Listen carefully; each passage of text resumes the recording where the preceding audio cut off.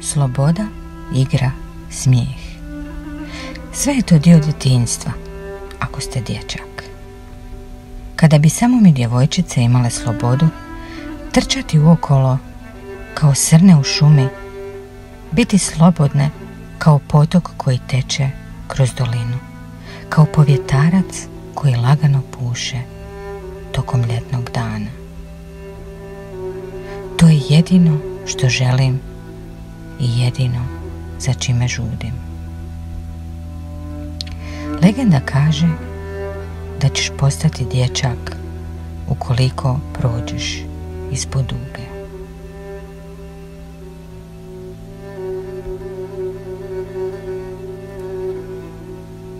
Vidim dugu, trčim prema njoj. Sve bliže sam tomu da postanem dječak, da napokon osjetim slobodu. Vjerujem da ću uspjeti, želim vjerovati.